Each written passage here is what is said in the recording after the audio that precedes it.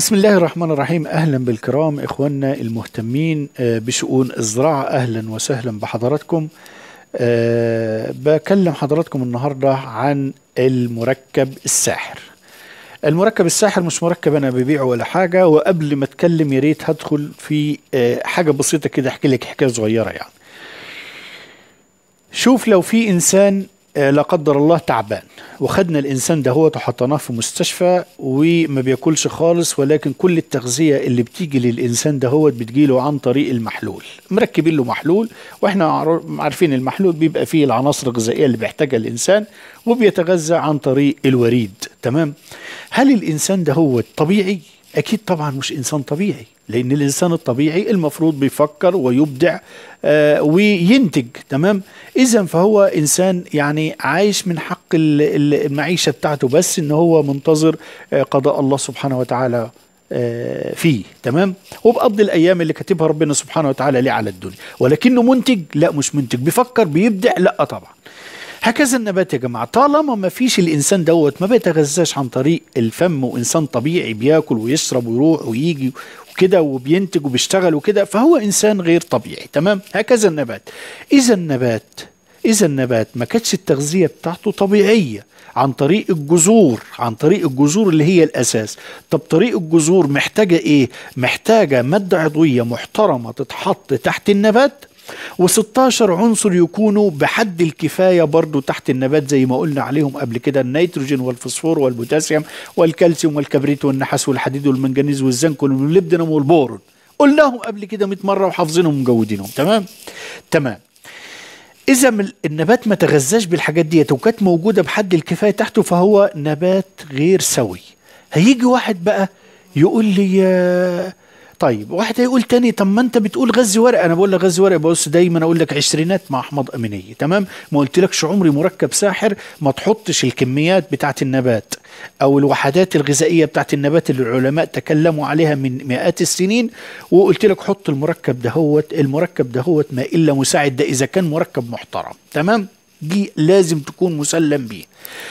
وإنكاز إن كان التغذية الورقية أو التغذية الجذرية فإحنا برضو بنغذي بالعناصر. بنقول رش حديد ومنجنيز وزنك. دي عناصر تمام؟ بنقول رش بوتاسيوم دي عناصر. بنقول وهكذا تمام؟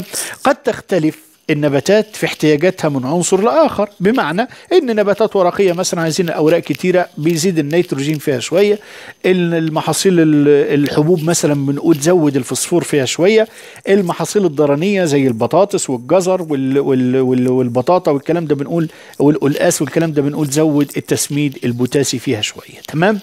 لحد كده الدنيا ماشية كويس. تيجي تلاقي مهندس حديث التخرج طالع جديد وانت قاعد في مكانتك وراجل كويس جدا وتمام التمام وربنا مديك من العلم والخبرة الحمد لله على كل حال. تلاقيه دخل عليك آه، يعني آه، لو انت بتدرس في الجامعة كان آه، ال- ال- المهندس المحترم دهوت من تلامذتك. تبص تلاقيه فتح الأسطوانة والمركب عمل وخلى وعند الحاج فلان وعند الحاج علان. القصص ديت المهندس ما يهمه يا جماعة اللي هو يطلع بالتارجت بتاعه المستهدف.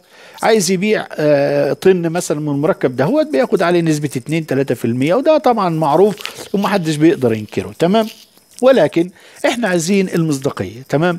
إنك أنت بتقول المركب ده هو إلى حد ما آه، هيعمل حاجة تمام؟ مش هرش مركب مثلا هبص ألاقي النبات ابتدى يهيج مني تمام؟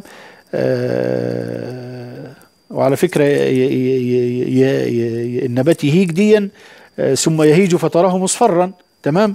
دي من من اللغة يعني مش مش كلمة د- درجة يعني تمام؟ النبات بيهيج منك وتبص تلاقي اللون بتاعه أصفر. من بعد ما رشيت المركب دوت إن كان طاحن عليه شوية جبريليك أسيد أو آه، حاطط له شوية منشطات تبص تلاقي الدنيا ابتدت تبوظ من الراجل اللي واقف تمام؟ فالمهندس مطلوب منه المصداقية والمزارع مطلوب منه الوحدات الغذائية اللي بيحتاجها النبات. وأعرف إن أي مركب وأنا رجب الشبراوي معظم البشر عارفيني وعارفين أنا فين. تمام؟ يجي أي مهندس تسويق كده يقول لي والله أنت غلطان في الحتة دي. تمام؟ أنا راجل بدرس علم تغذية من 20 سنة ومتلقح في المزارع وفي الجبال من 20 سنة. فما يجيش واحد يقول لي أصل المركب ده هترشه النهارده هيكذب. أنت كذاب. على طول رسمي. ما تقوليش النهارده هترش ده هو بكرة الصبح هيعمل كذا. ما فيش الكلام ده خالص. هو قد نتعرض لبرودة مثلا عالية بنقول رش والله مركب. في احماض أمينية في بتاع أما مش تجيب المركب وتوهم المزارع إن هو مجرد ما هيرشه هيلاقي الدنيا بقت كويسة. وإذا الدنيا ما بقتش كويسة تبص تلاقيه والله يا باشمهندس الدنيا ما بقتش كويسة عندي والنبات يقول لك لا أنت استخدمته غلط ويقعد يطلع ثغرات كده يعني آه زي الثغرات بتاعت الجماعة المحاميين. تمام؟ فمحتاجين المصداقية محتاجين المصداقية ومحتاجين إن مفيش حاجة اسمها مركب ساحر. في عناصر غذائية بيحتاجها النبات صغرى وكبرى ومادة عضوية محترمة تحته. اذا من غير ما مركب ساحر ومركب غير ساحر هيبقى النبات زي الفل معاك. فبلاش إنك أنت تبقى ماشي ورا الأوهام بتاعة الشركات. بالنسبة للمزارع ما مشيش ورا الم... ال... ال... ال... ال... الأوهام بتاعه المزارعات وإن المزارع يبيع لك ال... ال... المهندس يبيع لك الوهم أو بتاع المبيدات يبيع لك الوهم. وأنا لاحظت يا جماعة الفترة اللي فاتت ديت حاجات غريبة. بيجي لي على الواتس رسائل رسائل مصو... محولة. يعني واحد بي... بيبعت لواحد رسالة وبيحولها. تمام؟ لذلك أنا بعمل لهم إزالة على طول عشان ما حدش يزعل. جماعة بتوع المبيدات لقى الفريسة بتاعته ولقى ان أنا بجاوب على طول فالراجل قوي عرض عنده بيبعت له على بتاع المبيدات. طبعا ان كان هو دبلوم زراعة أو غيره ولا ملوش في الشغلانة تبص تلاقيه حول لي. فأنا طبعا ب برد مرة واثنين وثلاثه فبلاقي الأمور زادت عن حدها 3 4 5 10 رسائل في اليوم. بعمل له حظر على طول. ليه؟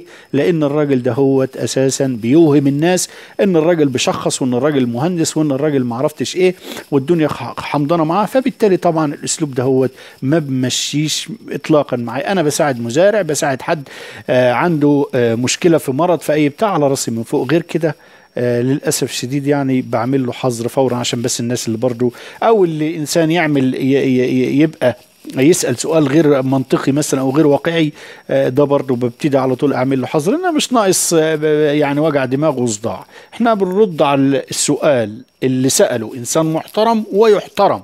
تمام؟ عرض نباتي حصل عند الراجل بيصوره وبعته لك حصل في الأسبوع مرة في الشهر مرة بس مش كل يوم حضرتك بتبعت عشر رسائل علشان أنت قاعد في محل مبيدات والفلاح بتقول له بقول لك عندي كذا تقول له صور لي وابعت على رجب الشبراوي.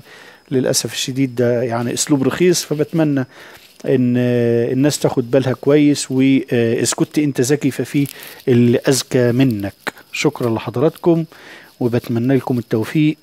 والسلام عليكم ورحمة الله تعالى وبركاته.